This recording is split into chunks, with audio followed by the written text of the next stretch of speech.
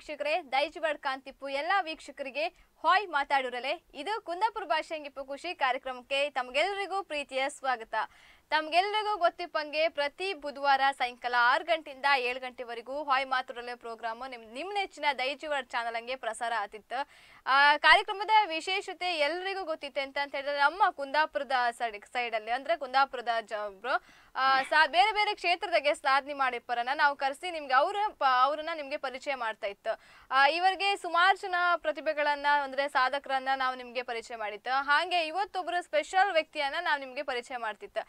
ಇಂತ ಇತ್ತೀಚಿನ ಕಾಲದಾಗೆ ಹೆಚ್ಚಿನರಿಗೆ ಒಂದು ಸ್ವಲ್ಪ ಕೃಷಿ ಬಗ್ಗೆ ಆಸಕ್ತಿ ಕಡಿಮೆ ಆತಿತ್ತು ಅಂತೇಳಿ ಹೇಳಕ್ ಅಂತದ್ರಲ್ಲ ಇವರು ಸುಮಾರು ವರ್ಷದಿಂದ ಕೃಷಿ ಮಾಡ್ಕೊಂಡು ಬಂದಾರ. ಹಾಗೆ ಈ ಕೃಷಿ ಬಗ್ಗೆ ಇತರರಿಗೂ ಕೂಡ ಅಲ್ಲೇ ಅಂದ್ರೆ ಅಕ್ಕಪಕ್ಕದ, ಪಕ್ಕದವರಿಗಾಗಿರ್ಬೋದು ಸುಮಾರು ಜನಿಗೆ ಮಾಹಿತಿಯನ್ನ ನೀಡ್ತಾರೆ ಸುಮಾರು ಜನರು ಇವ್ರ ಹತ್ರ ಒಂದು ಫೋನ್ ಮಾಡ್ಕೊಂಡು ಕೃಷಿ ಬಗ್ಗೆ ಮಾಹಿತಿ ಪಡ್ಕೊಂಡಿರ್ತಾರ.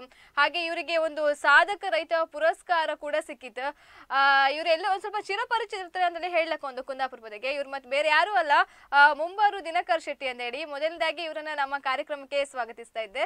ಸರ್ ನಮ್ಮ ಕಾರ್ಯಕ್ರಮಕ್ಕೆ ಸ್ವಾಗತ. ನಮಸ್ತೆ. ನಮಸ್ತೆ ಮೇಡಮ್ ಹಾಗೆ ವೀಕ್ಷಕರೇ ನೀವು ಈಗ ನಮ್ಮ ಕಾರ್ಯಕ್ರಮಕ್ಕೆ ಫೋನ್ ಮಾಡಿ ನಿಮ್ಗೆ ಎಂತಾದ್ರು ಕೃಷಿ ಬಗ್ಗೆ ಏನಾದರೂ ಮಾಹಿತಿ ಪಡ್ಕೊಂಡ್ಕೊಂಬಗಿದ್ರೆ ಕಾರ್ಯಕ್ರಮಕ್ಕೆ ಕಾಲ್ ಮಾಡಿ ನಮ್ಮ ಸರ್ ಹತ್ರ ಕೇಳಕ್. ಅವ್ರು ನಿಮ್ಗೆ ಎಂಥದೇ ಮಾಹಿತಿ ಇದ್ರು ನೀಡ್ತಾರೆ. ನಮ್ಮ ನಂಬರ್ ಟಿವಿ ಸ್ಕ್ರೀನ್ ಮೇಲೆ ಡಿಸ್ಪ್ಲೇ ಆಗ್ತಿತ್ತು. ನಾ ನಂಬರ್ ಅನ್ನು ಹೇಳ್ತೆ zero eight two zero four two nine double five seven ಜೀರೋಗೆ call ಮಾಡಿ. ಹಾಗೆ ಇನ್ನೊಂದು ನಂಬರ್ ಇತ್ತು seven double three eight six three seven six eight nine ಈ ಎರಡು ನಂಬರಿಗೆ ಕಾಲ್ ಮಾಡಿ ನೀವು ನಮ್ಮ ಅತಿಥಿ ಒಟ್ಟಿಗೆ ಇವತ್ತು ಮಾತಾಡ್ಲಕ್ಕ.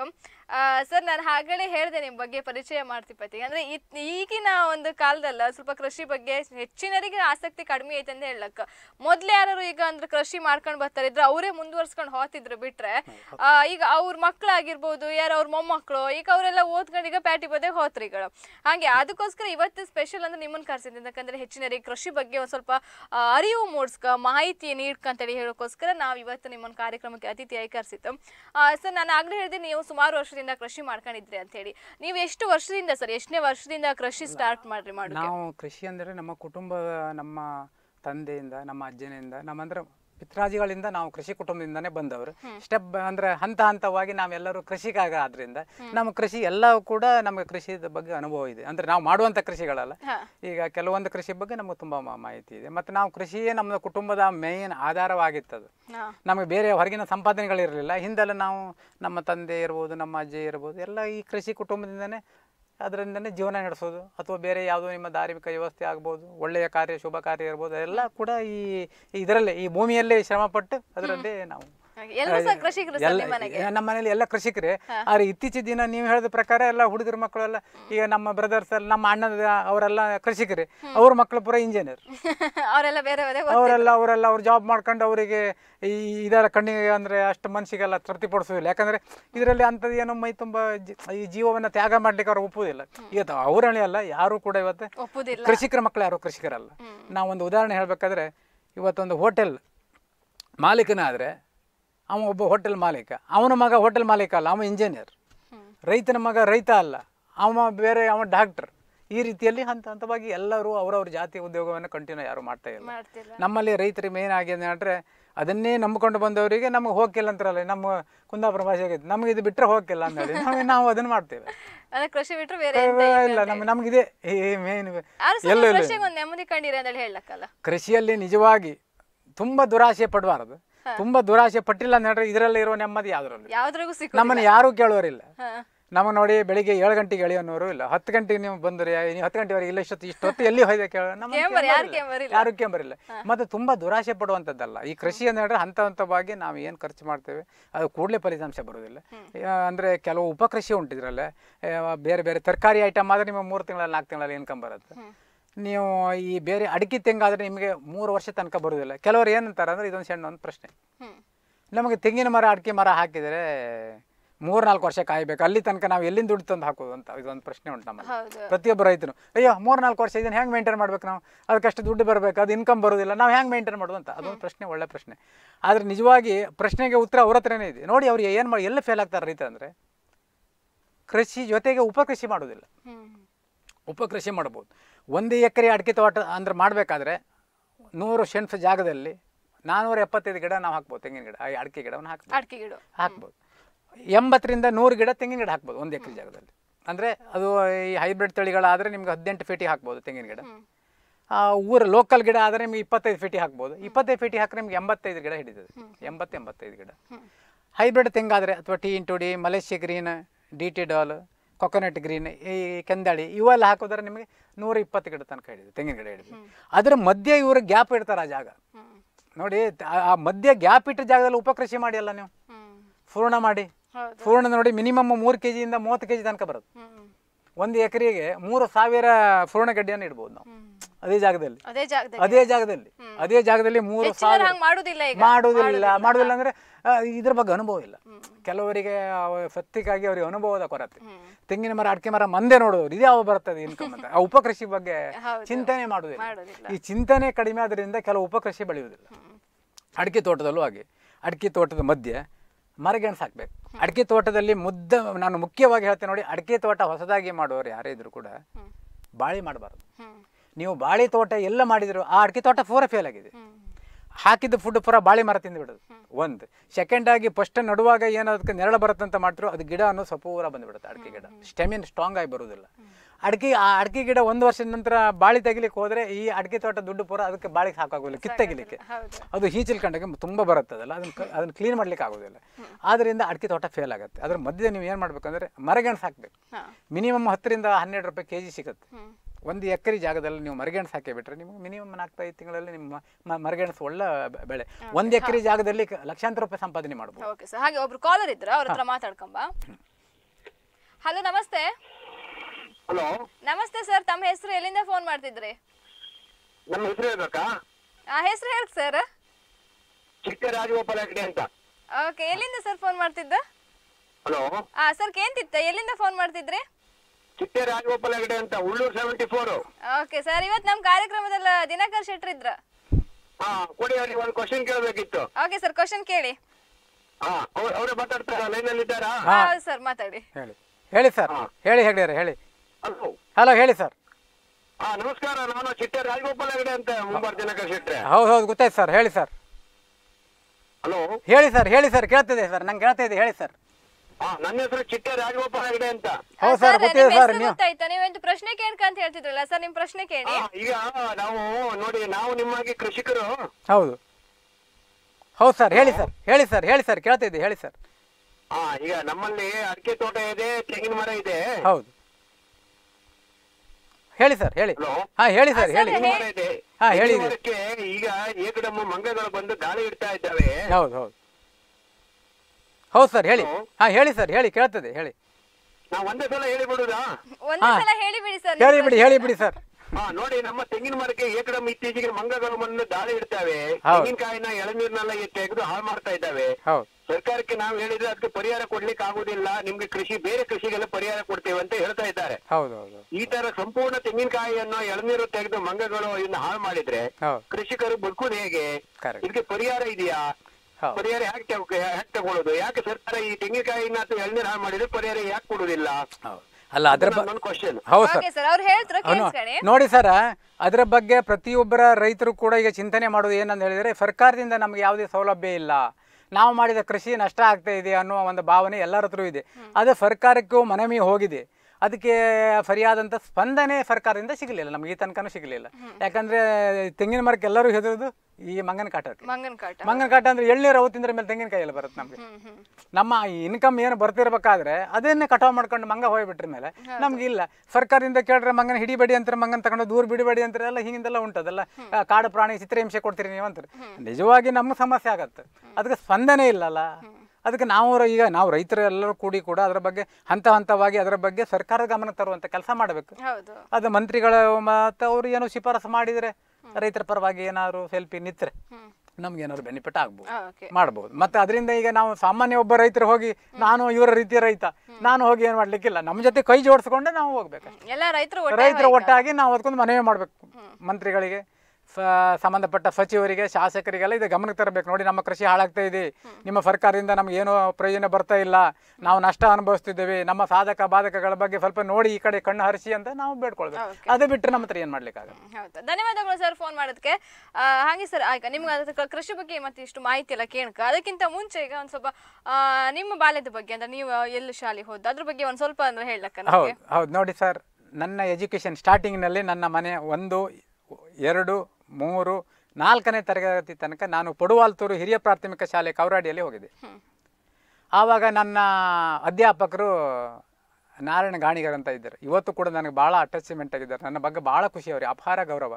ನನ್ನ ಎಲ್ಲ ಸಾಧನೆಯನ್ನು ನೋಡಿ ಅವರು ತುಂಬ ಖುಷಿ ಪಡ್ತಾರೆ. ತುಂಬ ಖುಷಿ ಪಡ್ತಾರೆ. ಅಂದರೆ ಜನ ಖುಷಿ ಪಡೋ ಜನ ಕಡಿಮೆ. ನೋಡಿ ಒಂದು ಹೇಳ್ತೀನಿ ನಿಮಗೆ. ಒಳ್ಳೆ ಕೆಲಸವನ್ನು ಜನ ಅದನ್ನು ಖುಷಿ ಪಡುವಷ್ಟು ಭಾಳ ಬಹಳ ವಿರಳ ಅದೇ ನೀವು ಕೆಟ್ಟದ್ ಮಾಡೋರು ಹೆದರ್ಕೊಂಡವರು ಸ್ವಲ್ಪ ಬದಿ ಹೋಗ್ತಾರೆ ಜನ. ಒಳ್ಳೇದು ಮಾಡೋರನ್ನ ಹೇಳಲಿಕ್ಕೂ ಹೊಟ್ಟೆ ಕಿಚ್ಚು ಬಿಡುದಿಲ್ಲ. ಆದ್ರೆ ನಮ್ಮ ಗುರುಗಳು ಇವತ್ತು ನಂಗೆ ಆ ಸಂಪರ್ಕದಲ್ಲಿದ್ದಾರೆ. ನಾನು ಒಂದು ಎರಡು ಮೂರು ನಾಲ್ಕನೇ ತರಗತಿಯಲ್ಲಿ ನಾನು ಗುರುಗಳಾಗಿದ್ರು ಅವರು. ಹೆಡ್ ಮಾಸ್ಟರ್ ಅವರೇ ಅವಾಗೆಲ್ಲ ಹೆಡ್ ಮಾಸ್ಟರ್ ಅಂದ್ರೆ ಮತ್ತೊಂದಿಲ್ಲ ಬೇರೆ ಇಲ್ಲ ಅವರೇ ಹೆಡ್ ಮಾಸ್ಟರ್ ನಾಲ್ಕನೇ ಕ್ಲಾಸ್ ತನಕ. ಐದರಿಂದ ನಾನು ಧಾರವಾಡ ಪಲಾಯನ ಮಾಡಿದೆ. ನನ್ನ ಸಿಸ್ಟರ್ ನಮ್ಮ ಅಕ್ಕ ಅಲ್ಲಿ ನಮ್ಮ ಅಕ್ಕನ ಗಂಡನ ಹೋಟೆಲ್ ಇತ್ತು. ನಾನು ಧಾರವಾಡಕ್ಕೆ ಹೋದೆ. ಇದೆಲ್ಲ ಎಂಬತ್ತ eighty three eighty three eighty five four eighty five ಅಂದರೆ ಎಂಬತ್ನಾಲ್ಕು ಎಂಬತ್ತೈದರಲ್ಲಿ ನಾನು ಧಾರವಾಡಕ್ಕೆ ಹೋದೆ. ಧಾರವಾಡಕ್ಕೆ ಹೋಗಿ ನಾನು ಅಲ್ಲಿ ಹೋಟೆಲ್ನಲ್ಲಿ ನಮ್ಮ ಭಾವನ ಜೊತೆಗೆ ನಾನು ಶಾಲೆಗೆ ಹೋದೆ. ಅಲ್ಲಿ ಆವಾಗ ಐದು ಆರು ಏಳನೇ ಕ್ಲಾಸ್ ಅಲ್ಲಿ ಧಾರವಾಡದಲ್ಲಿ ಹೋದೆ. ಧಾರವಾಡ ಹೋದ ಆವಾಗೂ ಕೂಡ ನನಗೆ ಬೇರೆ ಬೇರೆ ರಂಗದಲ್ಲ ಭಾಳ ಹವ್ಯಾಸ ಜಾಸ್ತಿ. ಈ ಸಿನಿಮಾ ನೋಡೋದು ಒಂದು ಚಟ ಇತ್ತು. ಅದ್ರ ಮಧ್ಯದಲ್ಲಿ ಒಂದು ದಿವಸ ಒಂದು ಶೋ ನೋಡ್ಕೊಂಡೇ ಹೋಗೋದು. ಶಾಲೆಗೆ ಹೋಗ್ಬೇಕಾದ್ರು. ಅವಾಗ ಎರಡು ರೂಪಾಯಿ ಕೊಟ್ಟರೆ ಒಂದು ಟಿಕೆಟ್ ಎರಡೂವರೆ ರೂಪಾಯಿ ಟಿಕೆಟ್ ಮಾಡಿಬಿಟ್ರೆ ಪಿಕ್ಚರ್ ನೋಡ್ಕೊ ಆರಾಮ ಒಳ್ಳೆ ಬಾಲ್ಕನಿ ನೋಡ್ಬೋದು. ಇವತ್ತು ಅದು ಎಷ್ಟಾಯ್ತು ನಮಗೆ ಗೊತ್ತಿಲ್ಲ. ನಾವು ಹತ್ತು ವರ್ಷದಿಂದ ಫಿಲಿಮೇ ಬಿಟ್ಬಿಟ್ಟಿದ್ದೀವಿ. ಹಾಗೆ ಹಂತ ಹಂತ ಬಗ್ಗೆ ನಮ್ಮ ಬ್ರದರ್ ನಮ್ಮ ದೊಡ್ಡ ಅಣ್ಣ ಇವರು ಸೀತಾರಾಮ್ ಶೆಟ್ರ್ ಅಂತ. ಅವರು ಭಾಳ ಹೋಟೆಲ್ ಉದ್ಯಮಿ ಮಸ್ತ್ ಹೋಟೆಲ್ ಎಲ್ಲ ಮಾಡಿದವರು ಅವರು. ಬೆಳಗಾಂದಲ್ಲಿ ಹೋಟೆಲ್ ಇತ್ತು ಅವಾಗ. ನಮ್ಮ ಭಾವನ ಹೋಟೆಲಿಂದ ನಾವು ಅಲ್ಲೇ ಶಿಫ್ಟ್ ಆಗಿ ಬೆಳಗಾಂಗೆ ಹೋಯ್ತು. ಮತ್ತೆ ಎಪ್ಪತ್ನಾಲ್ಕು ಕಿಲೋಮೀಟರ್ ಮುಂದೆ ಹೋಯ್ತು. ಧಾರವಾಡದಿಂದ ಬೆಳಗಾಂ ಬೆಳಗಾಂದಲ್ಲಿ ಲಿಂಗರಾಜ್ ಅಲ್ಲಿ ಕಾಲೇಜಲ್ಲಿ ನಮ್ದೆಲ್ಲ education first year second year ಎಲ್ಲ ಮಾಡಿದೆ ಓಕೆ ಒಂದು ಕಾಲ್ ಇತ್ತು ಸರ್ ಮತ್ತೆ ಮಾತಾಡುವ. ಹಲೋ ಹಲೋ ನಮಸ್ತೆ. ಹಲೋ ನಮಸ್ತೆ. ಕೇಂತಿತ್ತ ಹಲೋ ಪ್ರಾಬ್ಲಮ್ ಓಕೆ ಅವರಂದ್ರೆ ಸುಮಾರು ಹೊತ್ತರಿಗೆ ಅಂದ್ರೆ ವೇಟ್ ಮಾಡ್ತಾ ಇದ್ರೆ ಇಲ್ಲ ಲೈನ್ ಎಲ್ಲ ಅದಕ್ಕೆ ಅವರಂದ್ರೆ ಸ್ವಲ್ಪ ಅಂದ್ರೆ ಫೋನ್ ಇಟ್ಟಿಗೆಲ್ಲ ಆಚೆಗೆ ಅವ್ರೆ ಮತ್ತೆ ಫೋನಿಗೆ ಟ್ರೈ ಮಾಡಿ ಖಂಡಿತ ಸಿಗುತ್ತೆ ಲೈನ್ ಓಕೆ ನೀವೀಗ ಹೇಳಿ ಸರ್ ಧಾರವಾಡದಿಂದ ಧಾರವಾಡದಿಂದ ಬೆಳಗಾಂ ಪಲಾಯನ ಮಾಡಿದೆ ಬೆಳಗಾಂದಲ್ಲೂ ಹೋಟೆಲ್ ನಮ್ಮ ವೃತ್ತಿ ಅಲ್ಲ ಹೋಟೆಲ್ ಒಂದು ವೃತ್ತಿಯನ್ನು ಮಾಡಿಕೊಂಡು ಕೂಡ ಅದ್ರ ಜೊತೆಗೆ ನಾನು ಶಾಲೆಗೂ ಎಲ್ಲ ಹೋಗಿ ಬರ್ತಾ ಇದ್ದೆ. ಆವಾಗಲೂ ಕೂಡ ನನ್ನ ಏಜ್ ಆವಾಗ ಕನಿಷ್ಠ ಒಂದು ಹದಿನೈದು ವರ್ಷ ಹದಿಮೂರು ಹದಿಮೂರು ಹದಿನೈದರ ಒಳಗೆ ನಾವು ನಾನು. ಆದರೆ ನನಗೆಲ್ಲ ಸ್ನೇಹಿತರು ಪೂರ ಅರವತ್ತು ವರ್ಷದವ್ರು ಯಾವಾಗ? ನಮ್ಮ ಮನೆಯಲ್ಲಿ ನಮ್ಮ ಅಮ್ಮ ಹೇಳೋದು ಏ ಮರ ನಿನ್ನ ಪ್ರಾಯಕ್ಕೆ ಫೈ ನೀನು ದೋಸ್ತಿ ಮಾಡೋದಿಲ್ಲ ನಿನ್ನ ಪ್ರಾಯದಕ್ಕಿಂತ ಹಿರಿಯರನ್ನ ಪೂರ ದೋಸ್ತಿ ನಿನಗಂತ ನಾನು ಇವಾಗಲೂ ಕೂಡ ನಂಗೆ ಅಂಥ ಸ್ನೇಹಿತರೆ ಜಾಸ್ತಿ. ಮತ್ತೆ ಹುಡುಗರ ಮಕ್ಕಳ ದೋಸ್ತಿ ಎಲ್ಲ ಇಲ್ಲ. ಇಲ್ಲ. ಮತ್ತೆ ಕ್ರಿಕೆಟ್ ಮ್ಯಾಚ್ ವಾಲಿಬಾಲ್ ಅಂದ್ರೆ ನನಗೆ ಆಗೋದಿಲ್ಲ ನಾನು ನೋಡೋದಿಲ್ಲ. ಧಾರವಾಹಿ ಬಂದ್ರೆ ಟಿವಿ ಬಂದೇ ಮಾಡಿ ಬಿಡ್ತೀನಿ ನಾನು. ಸ್ವಲ್ಪ ಕೃಷಿ ನೋಡ್ತೆ ಓಲ್ಡ್ ಸಾಂಗ್ ಇದ್ರೆ ನೋಡ್ತಿ. ಅಲ್ಲ ಹೇಳೋದು. ಆಮೇಲೆ ಕೃಷಿ ಬಗ್ಗೆ ಒಳ್ಳೆ ಸಾಧಕರ ಬಗ್ಗೆ ಒಳ್ಳೆ ಪ್ರತಿಭೆಗಳ ಬಗ್ಗೆ ಒಳ್ಳೆ ಏನೋ ಡ್ಯಾನ್ಸ್ ಕಾರ್ಯಕ್ರಮ ಮಕ್ಕಳ ಕಾರ್ಯಕ್ರಮ ಇದ್ರೆ ನೋಡ್ತೇನೆ ನಾನು. ಹಂಗೆ ಸರ್ ಆಗುದಾಯ್ತು ಈಗ ಫಸ್ಟ್ ಈಗ ಧಾರವಾಡದಿಂದ ಬೆಳಗಾವಿ ಮತ್ತೆ ಕೃಷಿ ಬಗ್ಗೆ ಸ್ವಲ್ಪ ಜಾಸ್ತಿ ಆಗಲಿಕ್ಕೆ ಆಸಕ್ತಿ ಆವಾಗ ಇತ್ತು ಅಂದ್ರೆ ನಾವು ಸ್ಟಾರ್ಟಿಂಗ್ ನಾನು ಸಣ್ಣಕ್ಕಿರುವಾಗಲೂ ಕೂಡ ನಾವು ಯಾವಾಗ ಇವಾಗಿನ ಇವಾಗಿನ ಮಕ್ಕಳು ಹಂಗಲ್ಲ. ಇವಾಗಿನ ಮಕ್ಕಳಲ್ಲಿ ಹೆಂಗೆ ಗೊತ್ತೇ ಶಾಲೆಯಿಂದ ಬಂದ್ರೆ ಕೂಡಲೇ ತಾಯಿ ತಂದೆ ರಸ್ತೆಗೆಲ್ಲ ಹೋಗಿ ಹಿಡ್ಕೊಂಡು ಬಂದು ಮನೆಯಲ್ಲಿ ಬಿಡೋದು ಅವ್ರನ್ನ. ಕೈ ಹಿಡ್ಕೊಂಡು ಬಂದು. ನಮ್ಮನ್ನ ಹಿಡ್ಕೊಂಡು ಬಪ್ಪಾರ ಯಾರು? ನಾವು ಮನೆಗೆ ಬಂದು ಚೀಲತ್ತ ಹೊತ್ತಾಕ್ಬಿಡೋದು ಶಾಲೆ ಶಾಲೆ ಬಂದಲ್ಲಿ ಹೊತ್ತಾಕೋರೆ ದನ ಬಿಟ್ಕೊಂಡು ಹೋಗ್ಬಿಡುದು. ಇಲ್ಲ ಅಂತ ಹೇಳಿದ್ರೆ ಗದ್ದೆಯಲ್ಲ ಬೇರೆ ಬೇರೆ ಏನಾದ್ರು ಕೆಲಸಕ್ಕೆ ಹೋಗೋದು. ಈ ಬದನೆ ತರಕಾರಿ ಮಾಡ್ತಿದ್ದು ನಾವು. ಅದನ್ನು ಕೊಯ್ಲಿಕ್ಕೆ ಅವರೊಟ್ಟಿಗೆ ಸಹಾಯಕ್ಕೆ ಹೋಗೋದು. ನಮ್ಮ ಅಣ್ಣನೊಟ್ಟಿಗೆ ನಮ್ಮ ಅಕ್ಕನೊಟ್ಟಿಗೆ ಸಹಾಯಕ್ಕಾಗಿ ಅವರೊಟ್ಟಿಗೆ ಹೋಗೋದು. ಮೆಣಸು ಕೊಯ್ಲಿಕ್ಕೆ ಹೋದ್ರೆ ನಮ್ಮ ಅಣ್ಣಂದಿ ಅವ್ರು ಯಾರು ಕೆಲಸ ಮಾಡ್ತಿರ್ಬೇಕಾದ್ರೆ ಅವ್ರಿಗೆ ಸಹಾಯಕ್ಕೆ ಹೋಗಿ ಆ ಮೆಣಸಿನಲ್ಲಿ ಸ್ವಲ್ಪ ಕೊಯ್ ಚೀಲ ತುಂಬೋದು ಹಿಂದೆ ಟೋಟಲಿ ಕೃಷಿ ಬಗ್ಗೆ ನಮಗೆ ಸಣ್ಣಿಂದ ನಾವು ಒಂದು ಒಂದು ಆರು ಏಳು ಎಂಟು ವರ್ಷ. ಇವತ್ತು ನನ್ನ ಮಕ್ಕಳು ಇಬ್ಬರು ಅದನ್ನೇ ಮಾಡ್ತಾ ಇದ್ದಾರೆ. ನನ್ನ ಮಗಳಿಗೆ ಒಬ್ಳಿಗೆ ಹದಿಮೂರು ವರ್ಷ ಒಬ್ಳಿಗೆ ಆರು ವರ್ಷ. ಇವ ಇವಾಗಲೂ ಕೂಡ ಅವಳು ಕಮ್ಮಿ ಅಂದ್ರೆ ಒಂದೂವರೆಯಿಂದ ಎರಡು ಸಾವಿರ ಅಡಿಕೆ ಗಿಡಕ್ಕೆ ಪಾಕೆಟಿಗೆ ಫುಡ್ ಹಾಕಿದ್ದಾಳೆ. ವಿಡಿಯೋ ಇದೆ ನನ್ನ ಹತ್ರ.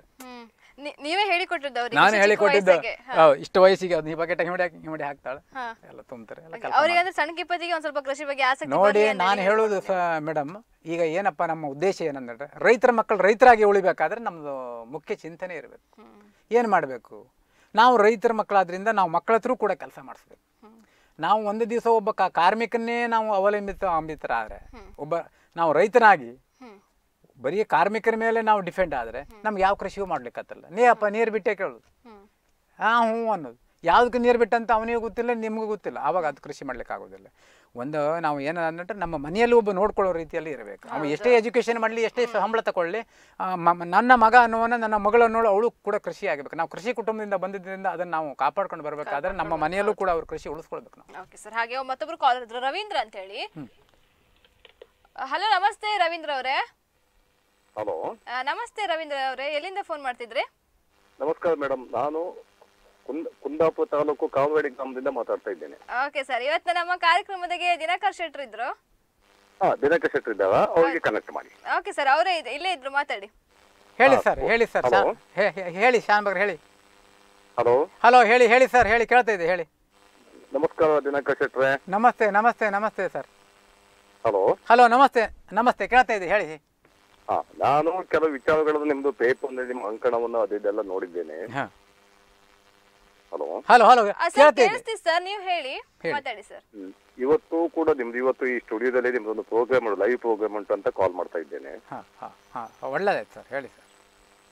ಹಲೋ? Hello hello. ಸರ್ ಕೇಳಿಸ್ತಾ ಇದೆ ಸರ್ ನೀವು ನೀವು ಹೇಳ್ತಾ ಇದ್ದೀರಿ ಸರ್ ನೀವು ಹೇಳ್ತೀರಿ ಕೇಳ್ತಾ ಇದ್ದೀರಿ ಕೇಳಿಸ್ತಾ ಇದೆಯಾ? ಹಾಂ ಕೇಳಿಸ್ತಾ ಇದೆ ಹಾ. ಈಗ ನಾನು ಕೇಳೋದು ಈ ನಮ್ಮ ಸಾಮಾನ್ಯ ಕರಾವಳಿ ಭಾಗಕ್ಕೆ ಯಾವ ರೀತಿಯ ಒಂದು ಅಡಿಕೆ ಗಿಡಗಳು ನಮಗೆ ಸೂಟೇಬಲ್ ಆಗ್ತದೆ ಅಂತ? ನೋಡಿ ಈ ಕರಾವಳಿ ಭಾಗದಲ್ಲಿ ನಮ್ಮಲ್ಲಿ ಈ ಮಾಮೂಲಿ ಒಂದು ಗಿಡ ಬರ್ತಿದೆ. ಅಂದ್ರೆ ನಾವು ಊರಿನಲ್ಲಿ ನಮ್ಮ ಕುಂದಾಪುರ ಭಾಷೆಯಲ್ಲಿ ಊರ್ ಗಿಡ ಊರ್ ಗಿಡ ಅಂತೇವೆ. ಹೌದು. ಲೋಕಲ್ ತಳಿ. ಆ ಲೋಕಲ್ ತಳಿ ಅನ್ನೋದು ಅದು ಉತ್ತಮ ಗುಣಮಟ್ಟದಲ್ಲಿ ಬರ್ತದೆ ಒಂದು. ಮರ ಹೈಟ್ ಆಗ್ತದೆ ಅನ್ನುವ ಒಂದೇ ಉದ್ದೇಶ ಹೊರತು ಬೇರೆ ಇದರಲ್ಲಿ ಫಸಲು ನಮಗೇನು ಕಡಿಮೆ ಬರುವುದಿಲ್ಲ. ಇನ್ನೊಂದು. ಈಗ ಹಲೋ. ಸರ್ ಹೇಳಿ ಸರ್ ಇವಾಗ ಏನಾಗಿದೆ ಅಂತ ಹೇಳಿದ್ರೆ ಹೊಸ ಹೊಸ ತಳಿಗಳು ಬಂದು ಜನರಿಗೆ ನಿಮ್ಗೆ ಈ ಕಾರ್ಮಿಕರ ಕೊರತೆ ಇರೋದ್ರಿಂದ ಸ್ವಲ್ಪ ಗಿಡ್ಡ ತಳಿಗಳನ್ನು ಅಂದ್ರೆ ಕುಬ್ಜವಾದಂತ ತಳಿಗಳನ್ನು ಜನ ಆಯ್ಕೆ ಮಾಡ್ಲಿಕ್ಕೆ ಹೋಗಿದ್ದಾರೆ. ಈಗ ಗಿಡ್ಡ ತಳಿಗಳ ಬಗ್ಗೆ ಬಹಳ ಒಂದು ಅಪವಾದನೆಗಳು ಕೇಳಿ ಬರ್ತಾ ಉಂಟು. ಹೌದು ಹೌದು ಹೌದು. ತುಂಬಾ ಅದು ವರ್ಷದಲ್ಲಿ ಒಂದು ಟ್ವೆಂಟಿ ಪರ್ಸೆಂಟ್ ಗಿಡವನ್ನು ಸಾಯ್ತಾ ಇದೆ. ಹೌದು ಹೌದು ಸರ್ ಹೌದು ಹೌದು. ಹ್ಮ್? ಹೌದು ಹೌದು ಫಲ ಗಿಡಗಳು ಇಪ್ಪತ್ತು ಪರ್ಸೆಂಟ್ ಅಲ್ಲಿ ಏನು ಲಾಭದಾಯಕ ಅನಿಸ್ತದೆ ಮೂರು ವರ್ಷ ನಾವು ಮೇಂಟೈನ್ ಮಾಡಿ? ಇಲ್ಲ ಮೂರು ವರ್ಷದಲ್ಲಿ ಫಸಲು ಬರುವ ಮೂಮೆಂಟಿನಲ್ಲಿ ನಿಮಗೆ ಡ್ಯಾಮೇಜ್ ಬರ್ತದೆ. ಗಿಡ ಯಾವಾಗ ನೋಡ್ರೆ ನಿಮಗೆ ಇಂಟರ್ಸಿ ಮಂಗಳ ಅಂತ ಬರುತ್ತಲ್ಲ ಗಿಡ್ಡ ಮಂಗಳ ಅವೆಲ್ಲ ಹೆಚ್ಚಿಗೆ ರೋಗಗಳೇ ಅವ್- ಅವಕ್ಕೆ ಹೆಚ್ಚಿಗಿನ ರೋಗಗಳ ಅಟ್ಯಾಕ್ ಆಗೇ ಆಗುತ್ತೆ ಗಿಡಗಳಿಗೆ. ಅದನ್ನ ಹೇಗೆ ಕಂಟ್ರೋಲ್ ಮಾಡ್ಲಿಕ್ಕೆ ಏನಾದ್ರು ಒಂದು ಕಂಟ್ರೋಲ್ ರೆಮಿಡೀಸ್ ಏನಾದ್ರು ಉಂಟು ಅದಕ್ಕೆ? ಒಂದು ಪರಿಹಾರಗಳಿದೆಯಾ ನೋಡಿ ಸರ್ ಅದಕ್ಕೊಂದು ಕಂಟ್ರೋಲ್ ಮಾಡುವ ಉದ್ದೇಶ ಏನಂತ ಹೇಳಿದ್ರೆ ಅಕ್ಕಪಕ್ಕದಲ್ಲಿ ಬೇರೆ ಯಾವುದೇ ತೋಟಗಳು ಇಲ್ಲದಿದ್ದರೆ ಅಂದರೆ ನಮ್ಮ ಅಕ್ಕಪಕ್ಕದಲ್ಲಿ ಶ್ರೀಮಂಗಳನೋ ಸುಮಂಗಳನೋ ಮೋಹಿತ್ ನಗರನೋ ಅಥವಾ ಯಾವುದೇ ಬೆಟ್ಟು ಚೆಟ್ಟು ಭೂಮಿಯಲ್ಲಿ ಕಾಡೋ ಯಾವುದೇ ಮರಗಳಿಲ್ಲದೆ ಸಪ್ರೇಟ್ ಆಗಿ ಒಂದು ಈ ಬೈಲ್ಸೀಮೆ ಸ್ಟೈಲಲ್ಲಿ ಬೇರೆ ಯಾವುದೇ ಜಾಗ ಇಲ್ಲ ಅಂದರೆ ಬೇರೆ ಯಾವುದೇ ಮರಗಿಡಗಳಿಲ್ಲದ ಜಾಗದಲ್ಲಾದರೆ ನೀವು ಇಂಟರ್ಸಿ ಮಂಗಳ ಹಾಕಿ ಕೂಡ ಅದರಲ್ಲಿ ಫಸಲು ಬೆಳಿಬೋದು ಡ್ಯಾಮೇಜ್ ಕಡಿಮೆ ಆಗ್ಬೋದು ಇಳುವರಿ ಜಾಸ್ತಿ ಬರ್ಬೋದು sir. With best of my knowledge ನನ್ನ ತಿಳುವಳಿಕೆ ಪ್ರಕಾರ ಹಾಂ. ಹಲೋ ಹಲೋ ಹೇಳಿ ಸರ್ ಹೇಳಿ. With with best best of my knowledge ನನ್ನ ತಿಳುವಳಿಕೆ ಪ್ರಕಾರ ಹಾಂ. ಈ ನಮ್ಮಲ್ಲಿ ಲ್ಯಾಂಡ್ ಕ್ಲಾಸಿಫಿಕೇಶನ್ ಮಾಡ್ತೇವೆ ನಾವು ನಂಜ ಮತ್ತೆ ಪುಂಜ ಅಂತ. ಹೌದು ಹೌದು ಹೌದು ಹೌದು. ನಂಜ ಲ್ಯಾಂಡ್ ಅಲ್ಲಿ ನಿಮ್ಗೆ ಗಿಡ್ಡ ತಳಿ ಆಗುದಿಲ್ಲ. ಅದಕ್ಕೆ ಮಾಡುವುದು ತಪ್ಪು ಅನಿಸ್ತಾ ಉಂಟು ನನಗೆ. ಏನ್ ಹೇಳ್ತೀವಿ ನೀವು ಇದಕ್ಕೆ? ಹೌದು ಹೌದು. ನಂಜ ಭೂಮಿಯಲ್ಲಿ ನಿಮಗೆ ಯಾವುದೇ ಹೈಬ್ರಿಡ್ ತಳಿಗಳು ಆಗೋದೇ ಇಲ್ಲ. ಕರೆಕ್ಟ್ ಅದು. ಹೌದು. ಅದೇ ಪುಂಜಾ ಲ್ಯಾಂಡ್ ಅಲ್ಲಿ ನಾನು ಕೆಲವು ಪ್ಲಾಂಟ್ಗಳನ್ನು ನೋಡಿದ್ದೇನೆ. ಹೌದು ಹೌದು. ಹಲೋ? ಹೌದು ಹೌದು ಹೌದು ಹೌದು. ಕೇಳ್ತಾ ಇದೆ ಹೇಳಿ. ನೋಡಿದ್ದೇನೆ ಈ ಗಿಡ್ಡ ಮಂಗಳೂರು ಉತ್ತಮ ರೀತಿಯ ಒಂದು ಫಸಲು ಬರ್ತಾ ಇದೆ. ಹೌದು ನಾನು ಅದನ್ನೇ ಹೇಳ್ತಾ ಇರೋದು ನಾನೀಗ. ನಂಜ ಭೂಮಿ ಅಂದ್ರೆ ಈ ಗೆದ್ದಿ ಬಯಲು ಮತ್ತೆ ನೀರು ನಿಲ್ಲುವಂಥ ಜಾಗದಲ್ಲಿ ಅದು ಗುಣಮಟ್ಟದಲ್ಲಿ ನಮಗೆ ಫಸಲು ಬೆಳೆಯಲಿಕ್ಕೆ ಬೆಳಿಲಿಕ್ಕೆ ಆಗುದಿಲ್ಲ. ಅದೇ ನಿಮಗೆ ಗುಡ್ಡಿ ಜಾಗದಲ್ಲಾದರೆ ಡ್ರೈ ಜಾಗದಲ್ಲಾದರೆ ಇಂಟರ್ಸಿ ಮಂಗಳ ಇನ್ನಿಲ್ಲ ಒಳ್ಳೆ ಬೆಳೆಯನ್ನು ಬೆಳಿಬೋದು. ನಿಮ್ಮ ಅನಿಸಿಕೆ ಪ್ರಕಾರ ನಾವು ಈಗ ಒಂದು ಒಳ್ಳೆ ರೀತಿಯ ಒಂದು ಫಲವನ್ನು ಪಡೆಯಬೇಕಾದ್ರೆ ನಾವು ಅದನ್ನು ಯಾವ ರೀತಿಯಲ್ಲಿ ಮೇಂಟೈನ್ ಮಾಡ್ಬೇಕಂತ ನಮ್ಗೆ ಏನಾದ್ರು ಒಂದು ಗೈಡ್ಲೈನ್ ಮಾಡಬಹುದು ಹೌದು. ನೋಡಿ ಅದನ್ನ ನೀವು ಹಣ್ಣು ನೂರಕ್ಕೆ ನೂರು ಕೂಡ ಅದರಲ್ಲಿ ಗುಣಮಟ್ಟದಲ್ಲಿ ಬೆಳೆ ಬೆಳೆಯಬಹುದು ಅನ್ನೋ ಉದ್ದೇಶ ಇದ್ದರೆ ಅದನ್ನು ಕ್ರಮವತ್ತಾಗಿ ಮಾಡಬೇಕಾದ್ರೆ ಅದನ್ನು ನೀವು ನೈನ್ ಬೈ ನೈನ್ ಹಾಕಬಾರ್ದು. ಟೆನ್ ಅಂದರೆ ಹತ್ತು ಹತ್ತು ಫೀಟಿಗೆ ಹಾಕಬೇಕು ಗಿಡವನ್ನು. ಒಂದು.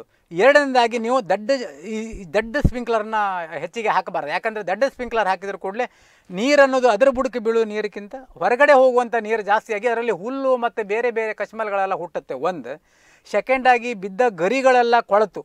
ಈ ತೋಟ ಸ್ವಚ್ಛತೆಯನ್ನು ನಾವು ಕಾಪಾಡಲಿಕ್ಕೆ ಆಗಿಲ್ಲ ಅಂದರೆ ಅಲ್ಲಿ ರೋಗಗಳು ಮತ್ತು ಜಾಸ್ತಿ ಉತ್ಪತ್ತಿ ಆಗ್ತದೆ. ಆ ಮೇನ್ ಆಗಿ ಇರುವುದೇ ನಿಮ್ಮ ತೋಟ ಕ್ಲೀನ್ ಇಡಲಿಲ್ಲ ತೋಟದಲ್ಲಿ ಎಷ್ಟು ನಾವು ಕ್ಲೀನ್ ಮೇಂಟೈನ್ ಮಾಡ್ತೇವೋ ಅಷ್ಟು ರೋ ರೋಗಗಳು ಕಡಿಮೆ ಆಗ್ತದೆ. ಓಕೆ ಧನ್ಯವಾದಗಳು ಸರ್ ಕಾರ್ಯಕ್ರಮಕ್ಕೆ ಫೋನ್ ಮಾಡೋದಕ್ಕೆ ಸರ್ ನನಗೆ ಒಂದು ಈಗ ಈಗ ಯಾರಾದ್ರೂ ಒಬ್ರಿಗೆ ಈಗ ಹೊಸ ಅಡಿಕೆ ತೋಟ ಏನಾದ್ರು ಒಂದೀಗ ನಿರ್ಮಾಣ ಮಾಡ್ಕೊಂಬಗಿದ್ರೆ ಅವರಿಗೆ ಏನ್ ಏನೆಲ್ಲ ಸರ್ ಒಂದು ಮುಂಜಾಗ್ರತೆ ವಹಿಸ್ಕತ್ತ ಮುಂಜಾಗ್ರತೆ ಅಂತ ಹೇಳಿದ್ರೆ ಹೊಸದಾಗಿ ತೋಟ ಮಾಡುವಾಗ ಬೈಲಾದಲ್ಲಿ ಅಥವಾ ಗುಡ್ಡ ಜಾಗ ಆದರೂ ಕೂಡ ಅದರಲ್ಲಿ ಫಾರ್ಮೇಷನ್ ಮಾಡಲಿಕ್ಕೆ ಹೋಗಬಾರ್ದು. ಆ ಮಣ್ಣಿನ ಆ ಫಾರ್ಮೇಷನ್ ಮಾಡಿದ್ರು ಕೂಡ ಆ ಮಣ್ಣಿನಲ್ಲಿ ಇರುವ ಹಳೆಯ ಆ ಮಣ್ಣು ಏನಿರುತ್ತಲ್ಲ ಅದರಲ್ಲಿ ಇರುವ ಫುಡ್ ಅನ್ನೋದು ಹೋಗ್ಬಿಡುತ್ತೆ ಅದರ ಅದರಾಗಿರುವಂಥ ಆ ಮಣ್ಣಿನ ಶಕ್ತಿ ಹೋಗ್ಬಿಡುತ್ತೆ ನಾವು ಏನಾಗುತ್ತೆ ಅಂದ್ರೆ ಈ ಮಣ್ಣನ್ನು ಶಿಫ್ಟ್ ಮಾಡಿ ಫಾರ್ಮೇಷನ್ ಮಾಡಿದಾಗ ಅಡಿ ಬುಡದಲ್ಲಿ ಇರುವ ಮಣ್ಣು ಏನು ಅದರಲ್ಲಿ ಗಮ್ ಇರೋದಿಲ್ಲ. ಆ ಮಣ್ಣು ಸ್ಟೆಮಿನ ಇಲ್ಲದ್ರಿಂದ ಗಿಡವನ್ನು ಮಾತ್ರ ನಾವು ಹಂತ ಹಂತವಾಗಿ ಅದನ್ನು ಸಣ್ಣಿಂದನೂ ಡೆವಲಪ್ಮೆಂಟ್ ಮಾಡ್ಲಿಕ್ಕೆ ಭಾರಿ ಕಷ್ಟ. ಭಾರಿ ಕಷ್ಟ ಆಯ್ತು. ಓಕೆ ಸರ್ ಈಗ ಅಡಿಕೆ ತೋಟದಲ್ಲಿ ಲಾಭ ಅನ್ನೋದು ಇದು ಉಂಟಾ? ಅಡಿಕೆ ತೋಟದಲ್ಲಿ ಇವಾಗಿನ ರೇಟ್ ಇದ್ರೆ ತುಂಬಾ ಲಾಭನೇ. ಇವಾಗಿನ ರೇಟ್ ಅಂದ ಅದು ಬಹಳ ಲಾಭ. ನಿಮ್ಗೆ ಯಾವ ಕೃಷಿ ಅಲ್ಲ ಈಗ. ನಿಜವಾಗಿ ಕೃಷಿ ಕೃಷಿ ಒಳಗೆ ಕಬ್ಬಿನ ಕೃಷಿ ಲಾಭ. ಕಬ್ಬು ತುಂಬಾ ಲಾಭ ಅದು. ಅದು ನಮ್ಮ ಬ್ರಹ್ಮಾವರ ಸಕ್ಕರೆ ಕಾರ್ಖಾನೆ ಇರುವಾಗ ನಾವು ಕೂಡ ಕಬ್ಬು ಕೊಟ್ಟವ್ರೆ. ಆವಾಗಲ್ಲಿ ನಮ್ಗದು ಆವಾಗೆಲ್ಲ ಎಂಟುನೂರು ರೂಪಾಯಿ ಟನ್ನಿಗಿತ್ತು ಆಮೇಲೆ ಸಾವಿರ ಹೋಯ್ತು ಸಾವಿರ ಇನ್ನೂರು ಆಯ್ತು ಈಗ ಮೂರು ಸಾವಿರ ತನಕ ಬಂದಿದೆ ಅಂತ ಸರಿ ಅದು ನಂಗೆ ಮಾಹಿತಿ ಇಲ್ಲ. ಒಳ್ಳೆ ಬೆಳೆ ಅದು ಕಬ್ಬಿನ ಬೆಳೆ. ಇವಾಗಿನ ಅಡಿಕೆ ರೇಟ್ ಈ ರೇಟ್ ಇರುವಾಗ ನಿಮ್ಗೆ ಯಾವ ಬೆಳೆನೂ ಅಲ್ಲ ಅಷ್ಟು ಒಳ್ಳೆ ಬೆಳೆ. ಮತ್ತು ಒಂದು ಸಾವಿರ ಅಡಿಕೆ ಮರವನ್ನು ಹಾಯ್ಕೊಂಡು ಅದನ್ನು ಮೇಂಟೈನ್ ಮಾಡದೇ ಇದ್ರೆ ಒಂದು ಸಾವಿರ ಅಡಿಕೆ ಮರ ಹಾಕಿ ನಾವು ಕ್ರಮವತ್ತಾಗಿ ಮೇಂಟೈನ್ ಮಾಡ್ರಿ ನಿಮಗೆ ಮಿನಿಮಮ್ ಅದರಲ್ಲಿ ಇವ್- ಇವ- ಇವಾಗಿನ ರೇಟಿನಲ್ಲಿ ನೀವು ಯಾವುದು ಹಣ್ಣು ಅಡಿಕೆ ಕೂಡ ಇವತ್ತು ನಮಗೊಂದು ನಾಲ್ಕು ರೂಪಾಯಿ ನಾಲ್ಕೂವರೆ ರೂಪಾಯಿ ಹಣ್ಣು ಅಡಿಕೆಗೆ ಬೀಳುತ್ತೆ ತೂಕದ ಲೆಕ್ಕದಲ್ಲಿ ಕೊಡುವಾಗ. ಎಪ್ಪತ್ತೇಳು ಎಪ್ಪತ್ತೆಂಟು ರೂಪಾಯಿ ತನಕ ಇದೆ ಆಮೇಲೆ ಫುಲ್ ಕೊಟ್ಟಿದ್ರೆ ಮತ್ತೆ ಜಾಸ್ತಿ ಇದೆ. ಹಳೆ ಅಡಿಕೆಗೆ ಈಗ ಐನೂರ ಮೂವತ್ತು ಐನೂರ ಇಪ್ಪತ್ತು ರೂಪಾಯಿ ಇದೆ. ಹೊಸ ಅಡಿಕೆಯು ಕೂಡ ನಾನ್ನೂರು ತನಕ ಹೋಗಿ ಆಗಿದೆ ಈಗ.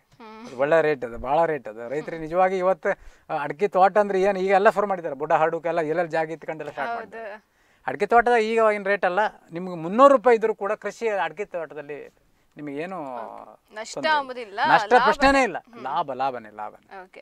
ಹಾಗೆ ಮತ್ತೆ ಈಗ ಜೇಡಿ ಮಣ್ಣಲ್ಲಿ ಇರ್ತದೆ ಜೇಡಿ ಮಣ್ಣು ಇಪ್ಪ ಜಾಗದಾಗೆ ತೆಂಗು ಮತ್ತೆ ಅಡಿಕೆ ಇನ್ನು ಈ ಬೇರೆ ಬೇರೆ ಒಂದು ಬೆಳಿ ಬೆಳುಕೆ ಅಂದ್ರೆ ವಿಧಾನ ಏನಾದ್ರೂ ಇತ್ತ ಸರ್? ನೋಡಿ ಜೇಡಿ ಮಣ್ಣಿನಲ್ಲಿ ಕೃಷಿ ಮಾಡೋದು ಬಹಳ ಸುಲಭಕ್ಕೆ ಹೆಚ್ಚಿನ ಜನ ಏನು ಮಾಡ್ತಾರೆ ಅಂದ್ರೆ ಹೇಳಿದ್ರೆ ಹಡಿಲು ಬೆಳೆಸಿ ಬಿಡ್ತಾರೆ. ಅದು ಜೇಡಿ ಮಣ್ಣಲ್ಲಿ ಕೃಷಿ ಆಗೋದಿಲ್ಲ ಅಂತ ಹಡಿಲು ಬೆಳೆಸ್ತಾರೆ. ನಿಜವಾಗಿ ಹಡಿಲು ಬೆಳೆಸುವಂಥ ಅಗತ್ಯನೇ ಇಲ್ಲ. ಜೇಡಿ ಮಣ್ಣಿನ ಇರುವಂಥ ಜಾಗಿಯನ್ನು ಸಂಪೂರ್ಣ ಸಮತಟ್ಟು ಮಾಡಿ ಅಂದರೆ ಫಾರ್ಮೇಷನ್ ಕ್ಲೀನ್ ಆಗಿ ಮಾಡಿ ಅದರ ಮೇಲೆ ಎರಡು ಫೀಟ್ ಮಣ್ಣನ್ನು ಹೊರಗಿನ ಮಣ್ಣು ತಂದು ಹಾಕಬೇಕು. ಕೆಂಪು ಮಣ್ಣು. ಕೆಂಪು ಮಣ್ಣು ಎರಡು ಫೀಟ್ ಹಾಕಿ ಅದರ ಮೇಲೆ ನೀವು ಯಾವುದೇ ಉಪಕೃಷಿ ಬೆಳಿಬೋದು ಅಡಿಕೆ ತೋಟನೂ ಮಾಡ್ಬೋದು ತೆಂಗಿನ ತೋಟನೂ ಮಾಡ್ಬೋದು.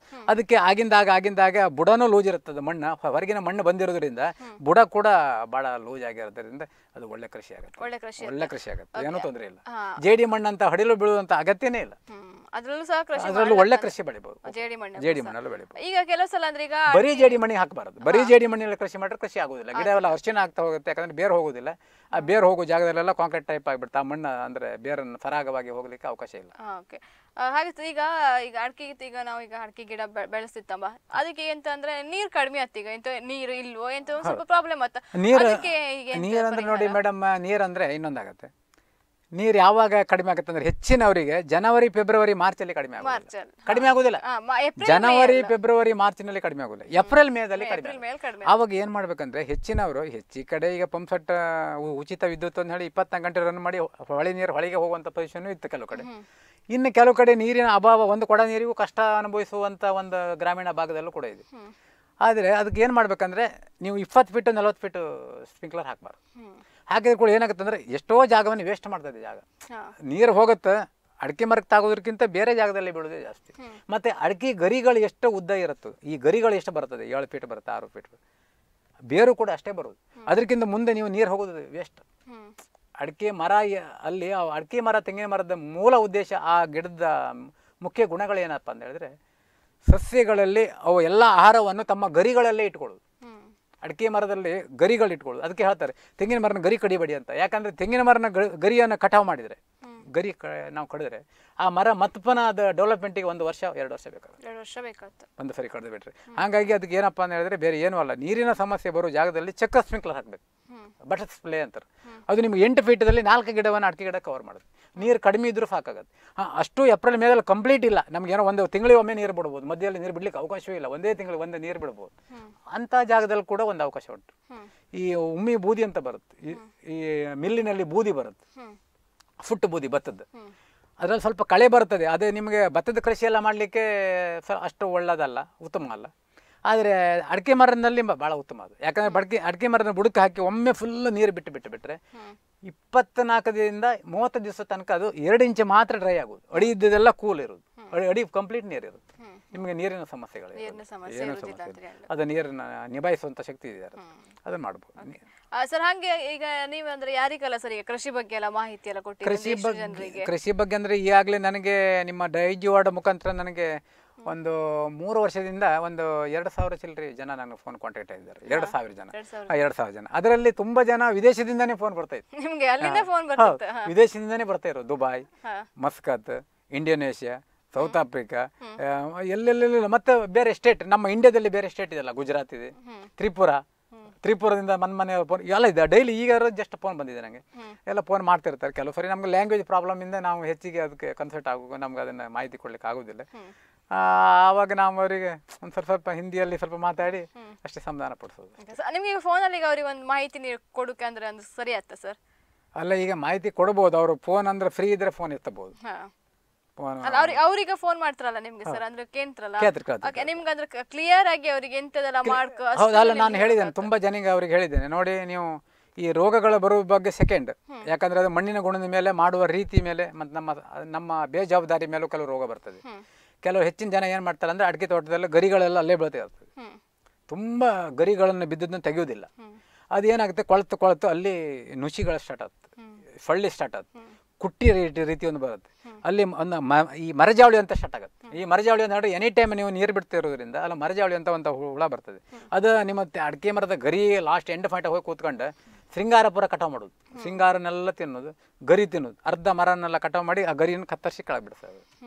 ಮರಜಾವಳಿ ಅಂತ. ಅದಕ್ಕೆ ನೀವು ರಾಸಾಯನಿಕ ಹಾಕುವ ಉದ್ದೇಶ ಬೇಡ. ಅದಕ್ಕೆ ನಮ್ಮಲ್ಲೇ ಒಂದು ಉಪಶಮನ ಉಂಟು ಅದಕ್ಕೆ ಅದಕ್ಕೆ ಅದು ಉಂಟು. ಮೆಡಿಸಿನ್ ಹತ್ತು ಲೀಟ್ರ್ ನೀರಿಗೆ ಒಂದು ಒಂದು ಕೆ ಜಿ ಉಪ್ಪನ್ನು ಹಾಕಿ ಬೆರೆಸೋದು. ಕರಡು ಆ ನೀರಿಂದ ಆ ಉಪ್ಪಿನ ನೀರಿಂದ ಅದಕ್ಕೆ ಮರಕ್ಕೆ ಹಾಕೋದು. ಮರಕ್ಕೂ ಏನು ಸೈಡ್ ಎಫೆಕ್ಟ್ ಇಲ್ಲ.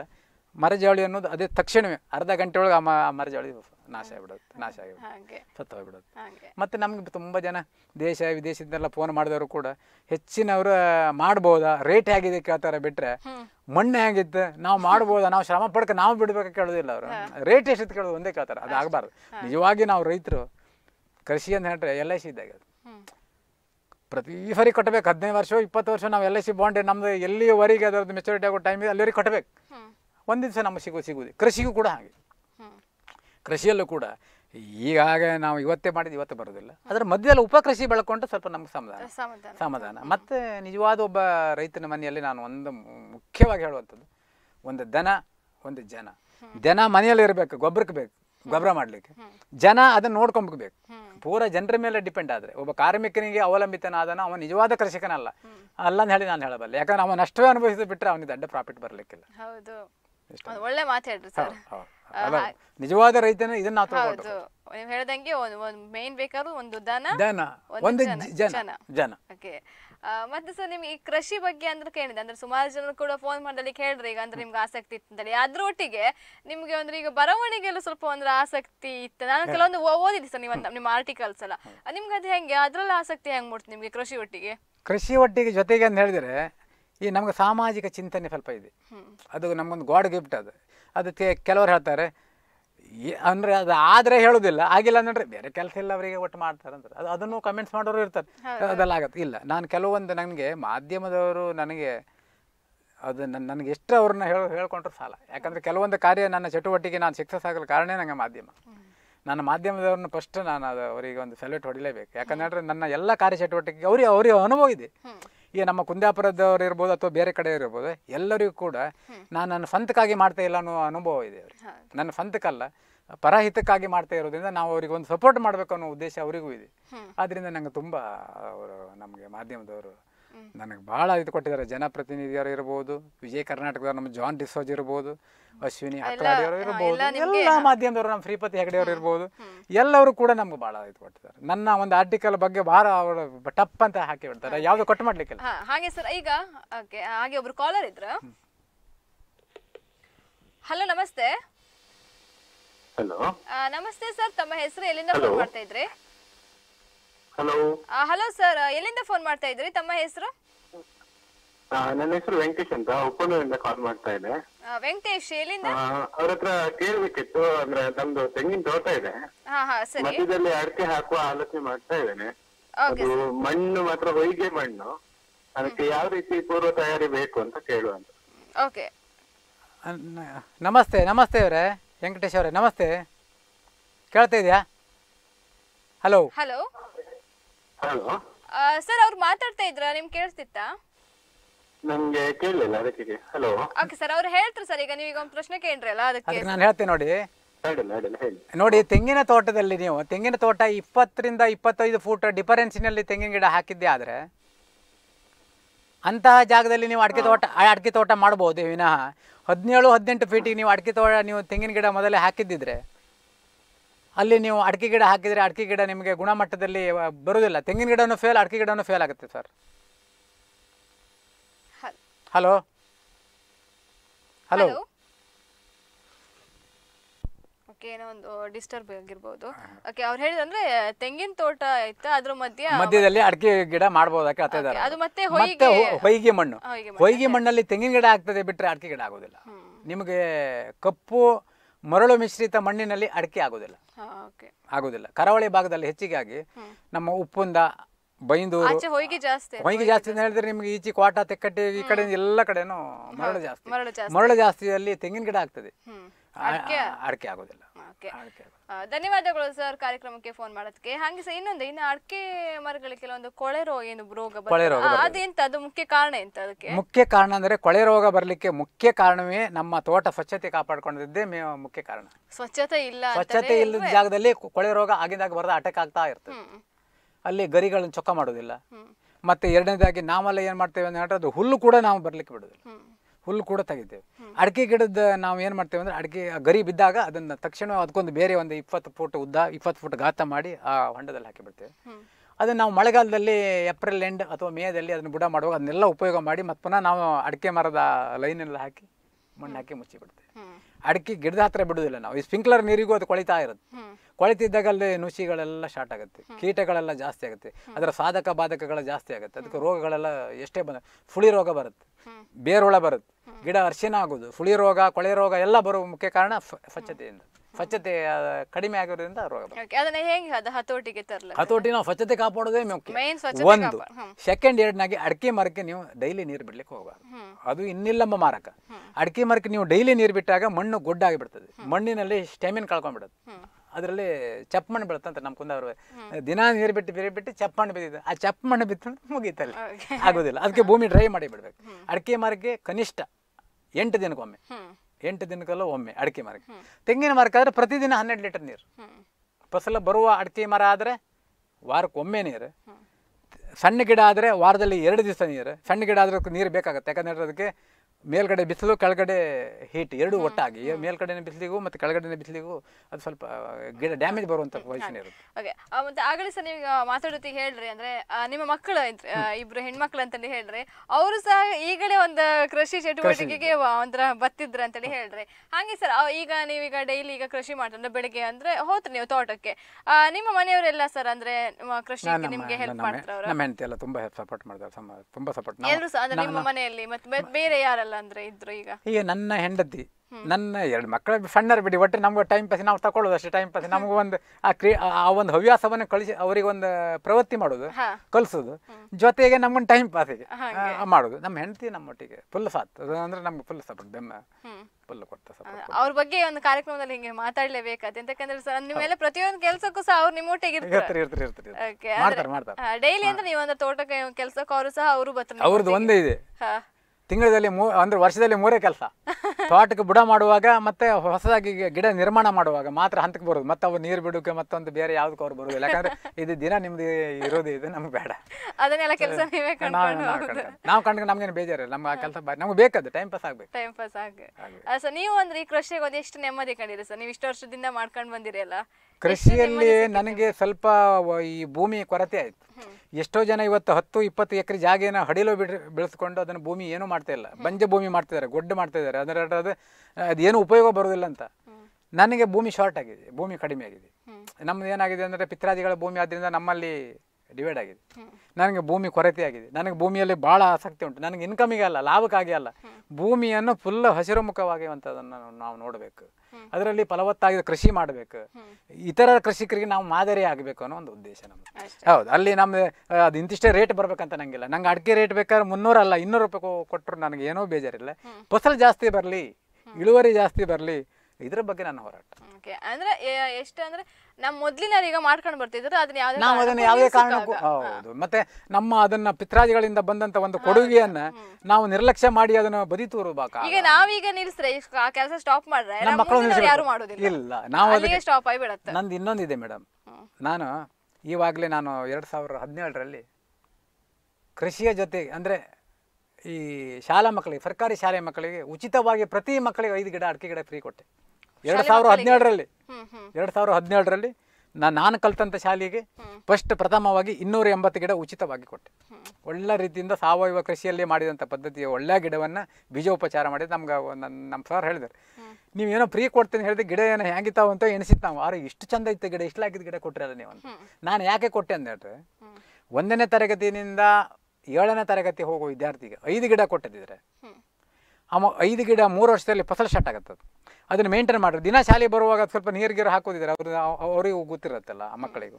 ನಮ್ಮ ನನಗೆ ಫ್ರೀ ಬಂದ ಗಿಡ ಇದು ಇದು ಗಿಡ ನಂದೇ ಅಂತ ಹೇಳಿ ಅವ್ರಿಗೆ ಏನೋ ಒಂದು ಪ್ರೀತಿ ಇರುತ್ತೆ. ಆ ಗಿಡಕ್ಕೆ ಬೆಳಿಗ್ಗೆ ಏನೋ ಮಾಡಿ ಒಂದು ನೀರು ಹಾಕಿ ಬಂದ್ಬಿಡ್ತಾರೆ. ಯಾಕಂದ್ರೆ ಅದು ನನ್ನ ಗಿಡ ಅದ್ರ ಫಸಲು ಬಂದ್ರೆ ನನಗೆ ಅದ್ರ ಇನ್ಕಮ್ ಅಂತ ಒಂದು ಸ್ವಲ್ಪ ಲಾಭ ಬರುತ್ತೆ ನನಗೆ ಅದು ನನಗೆ ತಿಳಿದ ಮಟ್ಟಿಗೆ ಐನೂರು ಅಡಿಕೆ ಗಿಡ ಆದರೂ ಕೂಡ ಎರಡೂವರೆ ಸಾವಿರ ಅಡಿಕೆ ಆಗುತ್ತೆ. ಐದು ಗಿಡದಲ್ಲಿ ಎರಡೂವರೆ ಸಾವಿರ ಅಡಿಕೆ ಬರುತ್ತಾರೆ. ಸ್ವಲ್ಪ ಕಮ್ಮಿ ಬರ್ಬೋದು ಹೆಚ್ಚು ಬರ್ಬೋದು ಸೆಕೆಂಡ್ ಎರಡೂವರೆ ಸಾವಿರ ಬಂದರೆ ಇವತ್ತಿನ ರೇಟಿನಲ್ಲಿ ನೀವು ಲೆಕ್ಕ ಹಾಕಿ ಏಳುವರೆ ಸಾವಿರ ಬಂದು ಏಳುವರೆ ಸಾವಿರ ಬಂದರೆ ಅವನ ಪಾಠ್ಯ ಪುಸ್ತಕಕ್ಕೆಲ್ಲ ಶಾಲೆಗೆ ಹೆಂಗೆ ಸರ್ಕಾರಿ ಶಾಲೆಗೆ ಮಕ್ಕಳಿಗೆಲ್ಲ ಫ್ರೀ ಕೊಡ್ತಾರೆ ಬುಕ್ ಅದರ ಮಧ್ಯೆ ಬೇರೆ ಅವನೇ ಬೇರೆ ಚಟುವಟಿಕೆ ಶಾಲೆಗೆ ಬೇಕಾಗುವಂಥದ್ದೆಲ್ಲ ಚಟುವಟಿಕೆಗೆ ಆ ದುಡ್ಡು ಸಾಕಾಗತ್ತೆ. ನಾನಂದರೆ ಕೃಷಿ ಜೊತೆಗೆ ಕಲಿಕೆ ಜೊತೆಗೆ ಕೃಷಿಗೂ ಆದ್ಯತೆ ಇರಲಿ ಮಕ್ಕಳಿಗೆ ಅನ್ನೋ ಅಂತೇಳಿ ಉದ್ದೇಶದಿಂದ ಮಕ್ಕಳಿಗೆ ಆ, ಉದ್ದೇಶದಿಂದ ಮಕ್ಕಳಿಗೆ ಒಂದು ಉಚಿತ ಉಚಿತವಾಗಿ ಕೊಟ್ಟೆ ಆ, ಕೊಟ್ರೆ ಆವಾಗ ಅದನ್ನು ನೋಡಿ ನನಗೆ ಶ್ರೀಕೃಷ್ಣ ಪೈಪಿನವರು ಮಾಲಕರು ಶ್ರೀಕೃಷ್ಣ ಪೈಪಿನವರು ಭಾಸ್ಕರ್ ನಾಯಕರು ಶೆಟ್ರೆ ಬರೋ ವರ್ಷಕ್ಕೆ ನಮ್ಮ ಕರಕುಂಜಿ ಶಾಲೆಯಲ್ಲಿ ಐನೂರು ಮಕ್ಕಳಿದ್ದಾರೆ. ಐನೂರು ಮಕ್ಕಳಿಗೂ ಫ್ರೀ ಕೊಡ್ತೇವೆ ನಾನು ವ್ಯವಸ್ಥೆ ಮಾಡ್ತೀನಿ ಅಂದ್ರೆ. ಆಯ್ತು ಸರ್ ನಾನು ಅದಕ್ಕೊಂದು ಸ್ವಲ್ಪ ಸಾಥ್ ಕೊಡ್ತೆ. ಒಂದು ಒಳಲ ಸೇವೆ ನಾನು ಮಾಡ್ತೆ ಒಳ್ಳೆ ಗುಣಮಟ್ಟದ ಗಿಡ ಕೊಡ್ತೆ. ಒಂದು ಎಪ್ಪತ್ತು ಪರ್ಸೆಂಟ್ ನೀವು ಅದರದ್ದು ಮೇಂಟೈನ್ ಮಾಡಿ ಇಪ್ಪತ್ತೈದು ಪರ್ಸೆಂಟ್ ನಾನು ಕೊಡ್ತೀವಿ ಸರ್ ಅಂದು. ಆಯ್ತಂತ. ಐನೂರು ಗಿಡ ತಗೊಂಡು ಬಂದು ನೂರು ಮಕ್ಕಳಿಗೆ ಐದೈದು ಗಿಡ ಫ್ರೀ ಕೊಟ್ಟೆ ಕರ್ಕುಂಜಿ ಶಾಲೆಯಲ್ಲಿ. ಅದು ನಿಮ್ಮ ಬೈಂದೂರು ಕ್ಷೇತ್ರದ ಕರ್ಕುಂಜಿ ಹಿರಿಯ ಪ್ರಾಥಮಿಕ ಶಾಲೆಯಲ್ಲಿ ನಾನು ಐನೂರು ಗಿಡವನ್ನು ಅದು ಇವತ್ತು ಎಷ್ಟು ಅಂದ್ರೆ ಅದ್ರ ಬಗ್ಗೆ ಬರೀ ನಮ್ಮ ಉದ್ಯೋಗವಾಗಿ ನಾನು ಇದು ಮಾಡ್ಕೊಂಡಿರಲಿಲ್ಲ. ಮತ್ತೆ ಇತರರಿಗೂ ಕೂಡ ಒಂದು ಮಾರ್ಗದರ್ಶನ. ಗೊತ್ತಾ ಇಲ್ಲಿ? ಮಾರ್ಗದರ್ಶನ ಹೇಳ್ತಿದ್ರಿ ಹಾಗೆ ಸರ್ ನಿಮ್ಮೊಟ್ಟಿಗೆ ಅಂದ್ರೆ ಇನ್ನು ಮಾತಾಡ್ಕೊಂಬಾಗಿತ್ತು ಅಂದ್ರೆ ಕೃಷಿ ಬಗ್ಗೆ ಮಾತಾಡ್ಕಾರೆ ಅಂತ ಎಂತ ಮಾಡೋದು? ಸಮಯದ ಅಭಾವ ಇತ್ತು? ಇನ್ನು ಕೊನೆಯದಾಗಿ ಒಂದು ಏನಾದ್ರೂ ಒಂದು ಕಿವಿ ಮಾತು ಒಂದು ಹೇಳೋದ್ರ ವೀಕ್ಷಕರೇ ಎಂತಕಂದ್ರೆ ಈಗ ಸ್ವಲ್ಪ ಅಂದ್ರೆ ಒಲವು ಕಡಿಮೆ ಆತಿತ್ತು? ಏನಾದ್ರೂ ಒಂದು ಕಿವಿ ಮಾತು ಹೇಳೋದಿದ್ರೆ ಎಂತ ಹೇಳ್ತೀರಿ ಸರ್ ನೀವು? ಕಾರ್ಯಕ್ರಮ ನಮ್ಮ ಕಾರ್ಯಕ್ರಮದ ಮೂಲಕ ಇವತ್ತು. ನಾವು ನೋಡಿ ಡೈಜಿ ವರ್ಡ್ ಮುಖಾಂತರ ನಾವು ಇಲ್ಲಿ ಬಂದಿದ್ದೇ ಒಂದು ಗ್ರೇಟ್. ಮತ್ತು ಡೈಜಿ ವಾರ್ಡ್ ಅವರು ಒಳ್ಳೆ ಜನಪರ ಕಾರ್ಯಕ್ರಮ ಕೊಡೋದ್ರ ಬಗ್ಗೆ ಅದು ಎಲ್ಲರಿಗೂ ಗೊತ್ತಿರೋ ವಿಚಾರ. ಇದು ದೇಶ ವಿದೇಶಕ್ಕೆಲ್ಲ ಇದು ಭಾಳ ವಿಸ್ತಾರವಾಗಿತ್ತು ಮತ್ತು ಇದ್ರ ಬಗ್ಗೆ ಭಾಳ ಜನ ನನಗೆ ಭಾಳ ಜನ ಫೋನ್ ಮಾಡ್ತಾ ಇರ್ತಾರೆ. ಡೈಜಿ ವಾರ್ಡಲ್ಲಿ ನಿಮ್ಮನ್ನು ನೋಡಿದ್ದೇವೆ ನಿಮ್ಮ ಡೈಜಿ ವಾರ್ಡಲ್ಲಿ ನೋಡಿದ್ದೇವೆ. ಈಗಾರು ಒಬ್ಬರು ಬ್ರಹ್ಮಾವರದಿಂದ ಫೋನ್ ಮಾಡ್ಕೊಂಡು ನಿಮ್ಮನ್ನು ಡೈಜಿ ವಾರ್ಡಲ್ಲಿ ನಾನು ನೋಡಿದೆ ಮಾರ ಅಂತ ಹೇಳಿದ್ದಾರೆ. ನಾವು ಹೇಳೋದು ಏನಪ್ಪ ಅಂತ ಹೇಳಿದ್ರೆ ರೈತರಾದವರು ಕನಿಷ್ಠ ನಾಲ್ಕು ಗಂಟೆ ಆದರೂ ಕೆಲಸ ಮಾಡಬೇಕು. ಅವ್ರು ಹೊರಗಡೆ ಏನೇ ಉದ್ಯೋಗಿಗಳಾಗಲಿ. ಇಪ್ಪತ್ನಾಲ್ಕು ಗಂಟೆ ಇರೋದು. ಆಫೀಸ್ ಕೆಲಸ ಮಾಡೋದು ಎಂಟೇ ಗಂಟೆ ಅವರು. ಇಪ್ಪತ್ನಾಲ್ಕು ಗಂಟೆ ಇರೋದು ಎಂಟು ಗಂಟೆ ಅವರು ಆಫೀಸ್ ಕೆಲಸನೇ ಮಾಡ್ರು. ನಾಲ್ಕು ಗಂಟೆ ಅವರು ಅವ ಕೃಷಿಕರಾದವರು ಒಂದು ರೌಂಡ್ ಹೋಗಿ ಬರಲೇಬೇಕು. ಏನೂ ಹೋಗಿಲ್ಲಪ್ಪ ನನ್ನ ಹತ್ರ ಬೇಜಾನ್ ದುಡ್ಡುಂಟು ಒಂದು ಕೃಷಿ ಮಾಡ್ತೇನೆ ಅಂತ ಹೇಳಿ ಮಾಡಿದ್ದಾರೆ. ಅವ್ರಿಗೆ ನಿಜವಾಗಿ ಎಲ್ಲ ಥರದಲ್ಲೂ ನಷ್ಟ ಆಗುತ್ತೆ ಅಂತ ನನ್ನ ಒಂದು ಒಂದು ನನ್ನ ಸಲಹೆಗಳು. ಅದರ ಜೊತೆಗೆ ಅವರು ಮತ್ತು ಕೃಷಿ ಮಾಡುವವರು ಆ, ನಮ್ಗೆ ಈಗಲೇ ಬರೋದಿಲ್ಲ ಕೂಡಲೇ ಅದರದ್ದು ನಮ್ಗೆ ಲಾಭ ಬರೋದಿಲ್ಲ ನಾವು ಕೃಷಿ ಮಾಡ್ತೇವೆ ಮೂರು ವರ್ಷ ಕಾಯಬೇಕು ಅನ್ನೋದು ಯಾವತ್ತೂ ನೀವು ಎಣಿಸಬೇಡ ಬೇಡ. ಉಪಕೃಷಿಯನ್ನು ಅದರಲ್ಲಿ ನೀವು ಅವಲಂಬಿತರಾದರೆ ಉಪಕೃಷಿಯಲ್ಲಿ ನಿಮ್ಗೆ ಮೂರು ಪಟ್ಟು ಇನ್ಕಮ್ ಬರುತ್ತೆ ಮೂರು ವರ್ಷದೊಳಗೆ ಈ ಫಸಲು ಬರೋರೊಳಗೆ ಅದು ಇದರ ಬಂದಿರುತ್ತೆ. ಹೌದು. ಮತ್ತು ನಾವು ನಮ್ಮ ಸಹಪಾಠಿಗಳಿಗೆ ನಮ್ಮ ಸಹಚರರಿಗೆ ನಮ್ಮ ಹಿತೇಶಿಗಳಿಗೆ ನಮ್ಮ ಬಂಧುಗಳಿಗೂ ಕೂಡ ಇದ್ರ ಬಗ್ಗೆ ಹೆಚ್ಚಿನ ಆಸಕ್ತಿ ಕೊಡುವಂಥ ಮಾತಾಡ್ಬೇಕು ನಾವು. ಏ ಕೃಷಿಯಲ್ಲಿ ನಿಮ್ಗೆ ಏನು ನಿಮ್ಗೆ ಬೇರೆ ಕೆಲಸ ಇಲ್ಲ ಅದನ್ನು ನಾವು ಹೇಳಿಬಿಟ್ರೆ ಕೂಡ ಮತ್ತು ಡ್ಯಾಮೇಜ್ ಆಗಿಬಿಡ್ತಾರೆ. ಮತ್ತು ಆಸಕ್ತಿ ಡೌನ್ ಆಗುತ್ತೆ. ಆ ಮಾತು ಹೇಳಬಾರ್ದು. ಬಾ ಅಂದರೆ ಮತ್ತು ಕೃಷಿ ಬಗ್ಗೆ ಹೆಚ್ಚಿನ ಪ್ರೋತ್ಸಾಹ ಕೊಡಬೇಕು. ನಮ್ಮ ತಂದೆ ಕೊಟ್ಟಿದಂಥದ್ದು ಆಸಕ್ತಿಯಿಂದ ನಮ್ಮ ಅಣ್ಣ ಮಾಡಿದ್ರು. ನಮ್ಮ ಅಣ್ಣ ಮಾಡುವಂಥ ಪ್ರೋತ್ಸಾಹದಿಂದ ನಾನು ಮಾಡಿದೆ. ನನ್ನ ಮಕ್ಕಳಿಗೆ ಅದನ್ನೇ ಮಾಡ್ತಾ ಇದ್ದೆ. ಇದು ಯಾವಾಗ ಪರಂಪರೆಯಾಗಿ ನಡ್ಕೊತಾ ಬರುತ್ತೆ. ಮತ್ತೆ ಮುಖ್ಯವಾಗಿ ಅಂದ್ರೆ ಇಷ್ಟೇ ಸರ್. ಓಕೆ. ಹಾಗೆ ಸರ್ ಇವತ್ತು ನಮ್ಮ ಕಾರ್ಯಕ್ರಮಕ್ಕೆ ಬಂದು ಒಂದು ಒಳ್ಳೆ ಒಂದು ಮಾತಾಡಿದ್ರೆ ಒಂದು ಕೃಷಿ ಬಗ್ಗೆ ಹೆಚ್ಚಿನ ಜನರು ಕೃಷಿ ಬಗ್ಗೆ ಕೃಷಿಗೆ ಒಂದು ಮುಖ ಮಾಡ್ಕೊ ಅಂತೇಳಿ ಒಂದು ಹೇಳಿದ್ರೆ. ಹಾಗೆ ಅಂದ್ರೆ ನಿಮ್ಮ ಬಗ್ಗೆ ಗೊತ್ತಾಯ್ತು ನಿಮ್ಮ ಫ್ಯಾಮಿಲಿ ಬಗ್ಗೆ ಗೊತ್ತಾಯ್ತು ಮತ್ತೆ ನೀವು ಹೆಂಗೆ ಕೃಷಿಗೆ ಬಂದ್ರಿ ಅದೆಲ್ಲದನ್ನು ನಾವು ಇವತ್ತು ನಮ್ಮ ಕಾರ್ಯಕ್ರಮದ ಮೂಲಕ ತಿಳ್ಕೊಂಡಿತ್ತು. ಹಾಗೆ ಸರ್ ನಮ್ಮ ದೈಜಿವರ್ ವಾಹಿನಿ ಕಡೆಯಿಂದ ನಿಮಗೂ ಕೂಡ ಧನ್ಯವಾದ ಹೇಳ್ತೀನಿ. ಧನ್ಯವಾದ ಧನ್ಯವಾದ ಆ, ನಡೆದಿಲ್ಲ ವೀಕ್ಷಕರೇ ಇವತ್ತಿನ ಸಂಚಿಕೆಯಲ್ಲಿ ಮುಂಬಾರು ದಿನಕರ್ ಶೆಟ್ಟರೊಟ್ಟಿಗೆ ನಾವು ಮಾತಾಡಿತ್ತ ಅವ್ರ ಬಗ್ಗೆ ಸಂಪೂರ್ಣವಾಗಿ ತಿಳ್ಕೊಂಡಿದ್ದ. ನಿಮ್ಗೆ ಇವತ್ತಿನ ಸಂಚಿಕೆ ತುಂಬಾ ಇಷ್ಟ ಆಯ್ತು ಅಂತ ಅನ್ಸ್ಕಂತೆ ಹಾಗೆ ಮುಂದಿನ ಸಂಚಿಕೆಗೆ ಇನ್ನೊಬ್ರು ಅಥವಾ ಪ್ರತಿಭೆ ಪ್ರತಿಭೆಯನ್ನ ನಾವು ನಮ್ಮ ಕಾರ್ಯಕ್ರಮದ ಮೂಲಕ ನಿಮಗೆ ಪರಿಚಯ ಮಾಡಿಸುತ್ತೆ. ಅಲ್ಲಿವರೆಗೂ ನೀವೆಂತ ಮಾಡ್ಕ ನಿರಂತರ ಸುದ್ದಿ ಹಾಗೂ ಮನೋರಂಜನೆಗಾಗಿ ಕಾಂತಾಯ್ಕಣಿ ದಯಜೀವ ಟ್ವೆಂಟಿ ಫೋರ್ ಸೆವೆನ್.